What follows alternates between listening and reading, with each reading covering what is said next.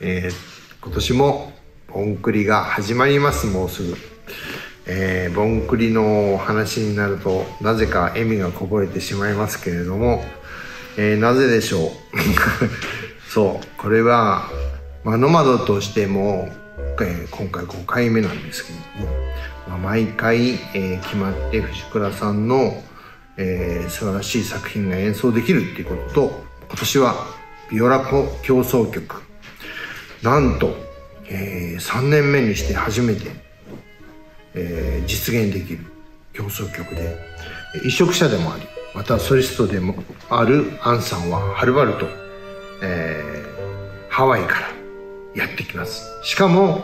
この、えー、競争曲のテーマになっているのはそのハワイの、まあ、海とそれからハワイの、まあ、古代からの、えー、続いているそのある生活の習慣でハワイの人たちの、まあ、宇宙観につながるのかな。そういうものがこの作品に反映されていると聞いてますので今僕はそのスコアを見ながらいろいろこう想像を巡らしてとても楽しみにしています。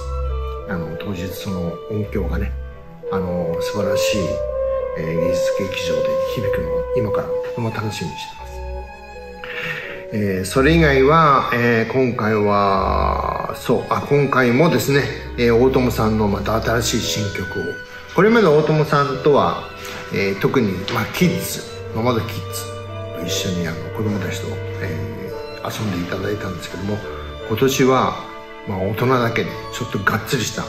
え、ものをやろうということで大友さんが用意していただいた作品を、え、今ちょうどリハーサルが終わったところなんですけど大友さんも、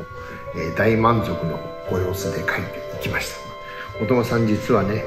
残念ながら当日は来れないんですけれども、あのー、すごく楽しみ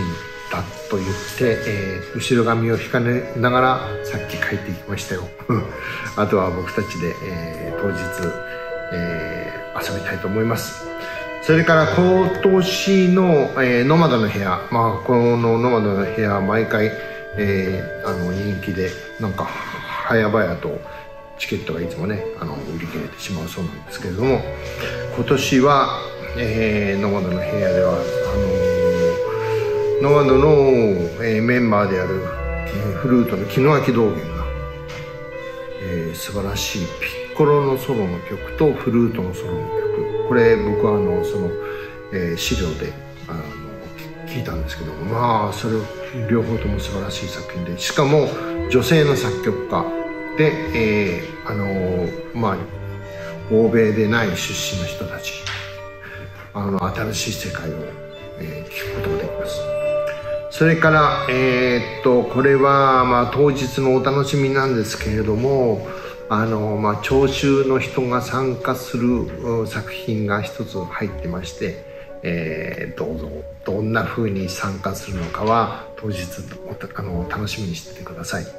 それからキッズがあのスペコンの方では出ないんですけれどもノマドの部屋ではしっかりと出ます。で今回はちょっとそうあの朗読というかナレーションをやってもらうので今回のキッズはちょっとあの大きい子たちがに、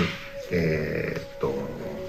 参加していただいて、えー、彼彼ら彼女たちとのお話と、えー、演奏で楽しんでいただくちょっとあの数学のお話らしいんですけれどもね。昔インドの数学者がいた考えた、えー、計算に基づいたお話と音楽で演奏します、えー、どうか楽しみにしていただきたいと思います。10もうもう来週ですけれども。えー、お待ちしてます。みんなでノマドのメンバーとキッズとみんなで待ってますので、えー、ぜひご参加ください。